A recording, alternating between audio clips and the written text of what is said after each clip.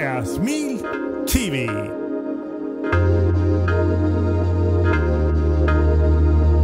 Smil TV. Vi giver et smil i din hverdag.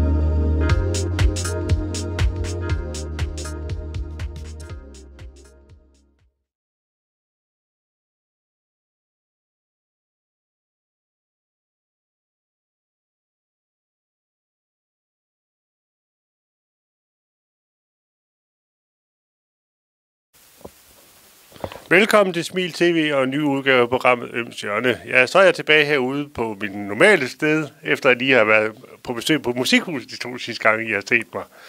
Øh, og i dag har jeg så på besøg af to øh, sanger og musikere, eller en sanger og en sanger og en musiker, kan man helst sige det, for at være helt stueren. Og øh, herover stedet står Lars. Og Lars, du er sanger og musiker. Hvordan blev du det? Ah, det er en lang historie, så bliver vi ikke færdige i dag. Men øh, jeg har været på banen siden jeg var 13. Så det, det, er mere end, det er mere end 10 år siden, jeg startede. Det er længe siden, jeg har gebærdet mig i forskellige sammenhænge. Jeg startede faktisk som korsanger i en kirke, og så fik jeg lyst til at sådan måske optræde med lidt mere populær musik. Og så, jamen, så er det gået slag i slag. Så mødte jeg min, min kone, og øh, hun havde godt nok en holdning, musiker og sømand, det skulle man bare holde sig helt væk fra. Men øh, i dag står hun altså selv som både musiker og søfartsbog, så der er sket nogle forandringer hen over tiden. Det må man sige.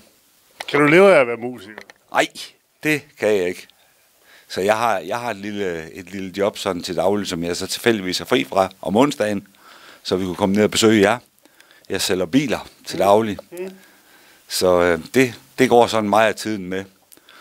Udover selvfølgelig musikken, den, den fylder det også i, i hverdagen. Og du er så sangerinde og musiker. Hvordan blev du det? Jamen altså, jeg havde øh, været med i min helt unge dage, en kort periode, øh, sammen med nogle musikere, da jeg boede i Høng. Men ja, så flyttede min mor til Aalborg og tog mig med, så, og så sluttede det. Og så har jeg ikke rørt det, før jeg mødte Lars. Og han har så skubbet til mig i en del år, inden jeg sagde, jamen okay, så gør vi det. så, øh, men det, vi sad og snakkede om det på vej her i bilen, og jeg tror, det er noget med 6-27 år siden, vi startede. 5-26 år siden er det, siden vi startede. Det er. Og du kan heller ikke leve af at være sangerinde? Nej, jeg har heller ikke lyst til at leve af det. Øh, jeg har lyst til at have det som et bidjob, øh, hvor man stadigvæk har det sjovt, når man skal ud og spille. Det, det er vigtigt for os, at vi har det sjovt, og vi har det rart. Hvis det var et job, et fuldtidsjob, så tror jeg, at man kunne også godt blive træt indimellem. Sætter du så også biler, eller hvad laver du, når, når du ikke er synge?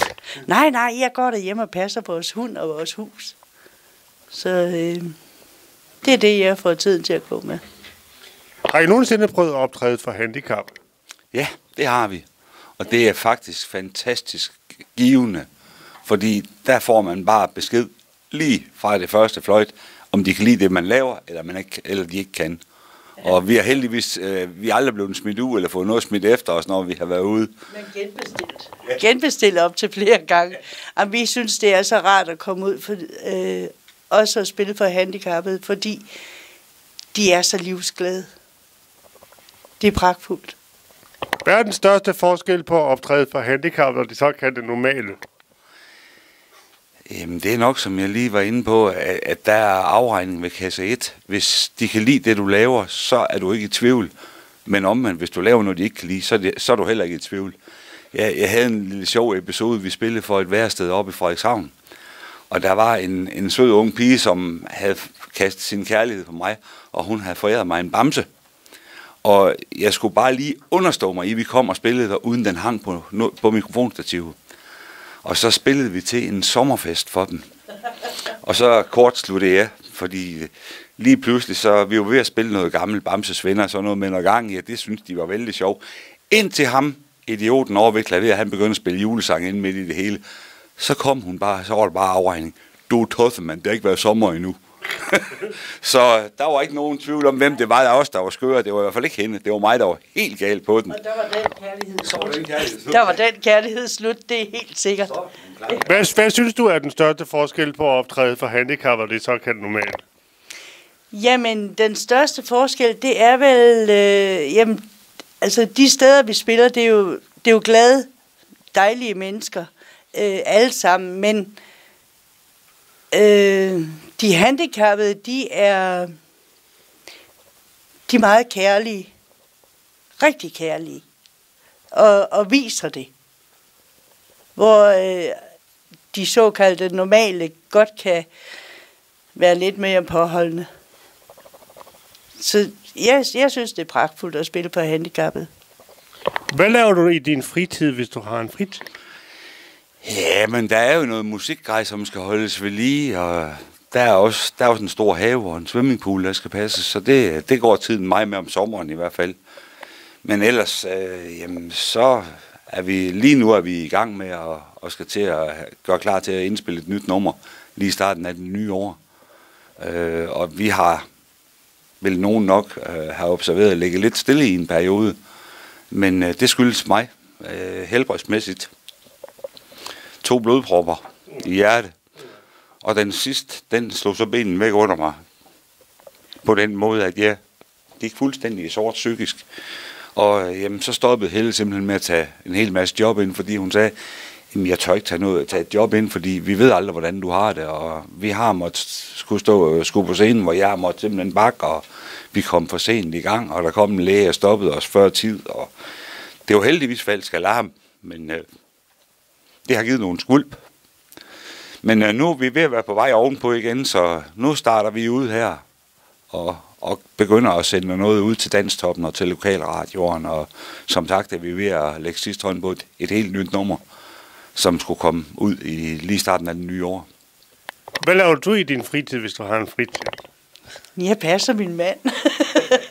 Ej, selvfølgelig. Altså, jeg syr, og jeg maler, og jeg... Jeg, jamen, jeg, jeg får tiden til at gå med mange ting. Jeg synes aldrig, jeg sidder stille. Så, øh. Men det er rigtigt, som Lars siger. Altså, vi har ligget stille. Nogenlunde stille. Vi har selvfølgelig passet de, de job, vi havde, og hold, overholdt de kontrakter, vi havde. Men øh, det, det var hårdt at, at tage ud, fordi jeg aldrig vidste, hvordan han havde det. Og han, hans psyke sagde, at der var en blodprop på vej. Den ene gang efter den anden. Og det var der så heldigvis ikke. Men øh, 13 gange måtte vi da ringe 112. Det var ikke sjovt. Her det sidst, hvis I kunne få jeres største ønske i verden opfyldt, hvad vil I så ønske jer? Uh, ja, det var godt nok et stort spørgsmål. Det var et meget stort spørgsmål. Øh, et eller andet sted, så er jeg sådan lidt uselvisk, så ville jeg ønske, at vi kunne få noget fred og ro. Vi kunne slippe for alt vold og overfald af uskyldige mennesker, som kommer i klemme i hverdagen, fordi der er nogen, der ikke kan finde ud af, hvordan man opfører sig. Ja. Og hvis du kunne få dit allerstørste ønske i verden opfyldt, hvad vil du så ønske dig? Som Lars siger, det er et stort spørgsmål. Øhm, jamen, det vi nok, øh, at vi kunne prøve at leve i fred. Uden at være bange for, hvad, hvem man møder, og unødvendig vold her i verden. Ja. Og så lige til aller, aller sidst. Nu siger jeg, at de snart kommer ud med noget nyt. Hvor kan man så finde det, når det nu udkommer? Jamen, det er så et projekt, vi er i gang med, fordi øh, det der med at indspille en hel CD og, og sælge den øh, via internettet, det er håbløst. Det er det løb, det er kørt. Så vi arbejder på højtryk lige for øjeblikket på at få lagt en hel masse af vores musik ud på YouTube. Og øh, i, i takt med, at vi får vi har en del materiale, der ligger, som ikke er sendt ud endnu. I takt med, at det bliver sendt ud til lokalradio og sådan noget, så vil det kunne findes på YouTube. Og med det vil jeg bare sige tusind tak, fordi I havde tid og lyst til at lige kigge forbi os. Det er os, der takker.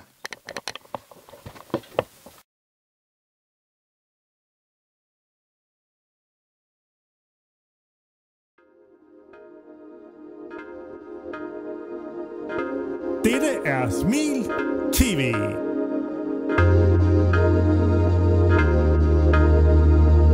Smil TV. Vi giver et smil i din hverdag.